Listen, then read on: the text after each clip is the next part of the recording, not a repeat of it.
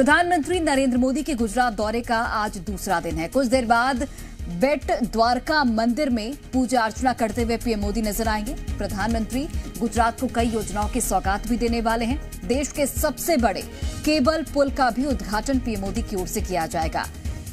यहाँ पर बावन करोड़, माफ़ कीजिएगा, पाँच करोड़ पच्चीस, यहाँ पर लाख के प्रोजेक्ट का उद्घाटन पीएम मोदी करेंगे। इसके अलावा शिलान्यास भी किया जाएगा।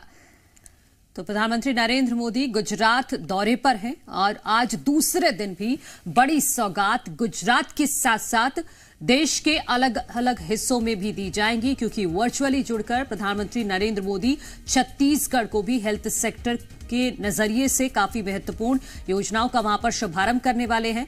माइक्रोबायोलॉजी लैब का वहाँ पर शुभारंभ किया जाएगा और इसके साथ साथ सबसे बड़े केबल पुल का उद्घाटन आज गुजरात में होगा। प्रधानमंत्री नरेंद्र मोदी ने गुजरात के जामनगर में रोड शो किया। रोड शो के दौरान पीएम मोदी की झलक पाने के लिए भारी जन सैलाब उमड़ा। वहीं आज भी प्रधानमंत्री कई विकास परियोजनाओं की सौगात देंगे। उससे पहले पीएम मोदी सुबह बैट द्वारका में दर्शन करेंगे। सुदर्शन सेतु का लोकार्पण करेंगे। द्वारका बैट द्वारका को जोड़ेगा सेतु। द्वारकाधीश मंदिर में दर्शन पूजन। दोपहर में जनसभा को संबोधित करेंगे। चार हज़ार करोड़ की सौगात देंगे। राजकोट एम्स सहित पाँच नए एम्स का लोकार्पण करेंगे। सुदर्शन ब्रिज अपने आप में एक बहुत ही अच्छा मॉडल है।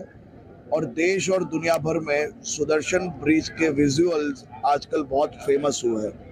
द्वारका में एक समारोह में प्रधानमंत्री लगभग 980 करोड़ रुपए की लागत से बने ओखा मुख्य भूमि और बेट द्वारका द्वीप को जोड़ने वाले सुदर्शन सेतु का उद्घाटन करेंगे। दो दशमलव तीन दो किलोमीटर लंबा केबल आधारित पुल देश में अपनी तरह का सबसे लंबा पुल है।